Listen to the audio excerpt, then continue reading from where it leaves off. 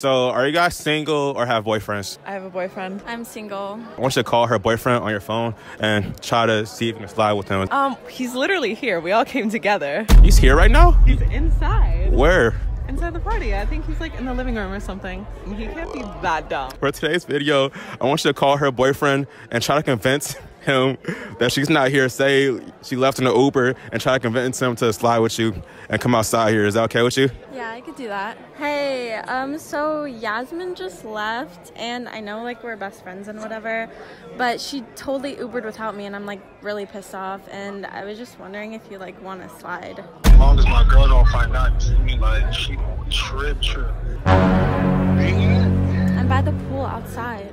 I'll come over there. Give me a Okay. Okay, okay, uh, okay. Stay right here, and we're about to go hide. Okay.